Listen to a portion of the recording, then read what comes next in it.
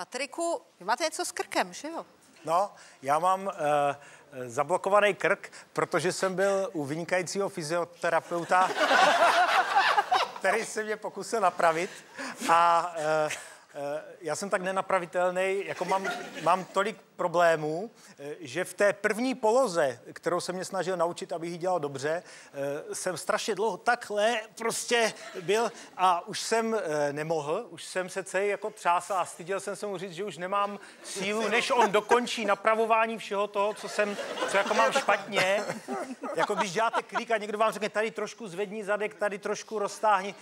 No a tak tam jsem se načal a včera jsem se ještě zničil u dalšího cvičení, další vynikající eh, cvičitelky. Takže, eh, protože se snažím žít zdravě.